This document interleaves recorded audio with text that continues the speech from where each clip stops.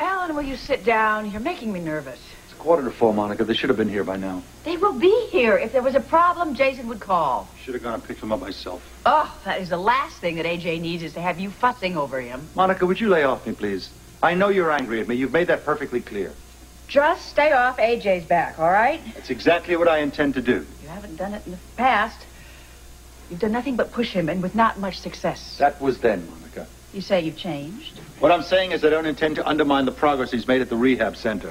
Fine. And don't bring up him going back to school either.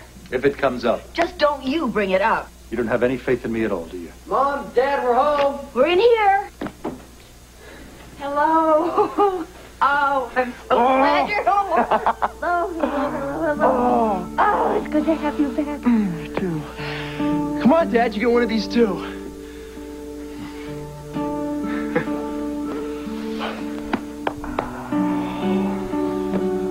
God, it's good to have you home. God, not half as good as it feels to me. So good to see you. Oh, it's good to be home, Grandmother. You're looking absolutely wonderful. You think so? You have that twinkle back in your eyes again. Well, that's good news, huh? Yes, it is. Oh, we're so proud of you, Twinkle.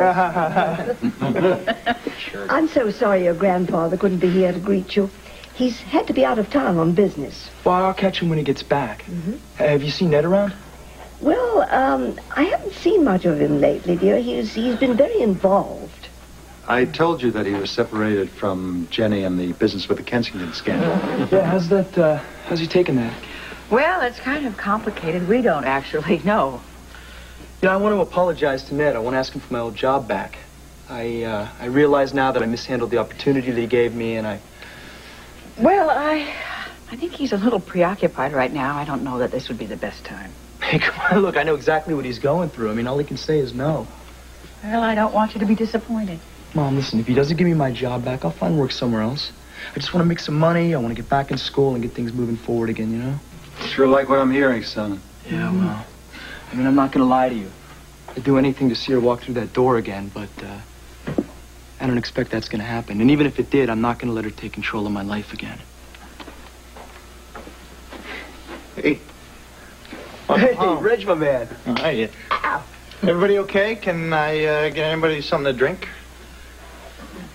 No, thank you. No, nothing for me, thank you. Uh, you sure? It's cold out. No, thank you, Reginald. We're going to skip cocktails tonight. We're going to the Port Charles Hotel for dinner. Hey, hey, come on, what's the rush, huh? Look, have something.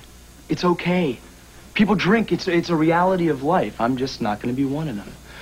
Yeah, I got a problem with alcohol. I think I can stand to be around it, though. And if I can't, I'll speak up. Huh? Jace, name your sparkling water. Oh, nothing for me, thanks, AJ. Come on, will you guys relax, huh? Everything's going to be fine.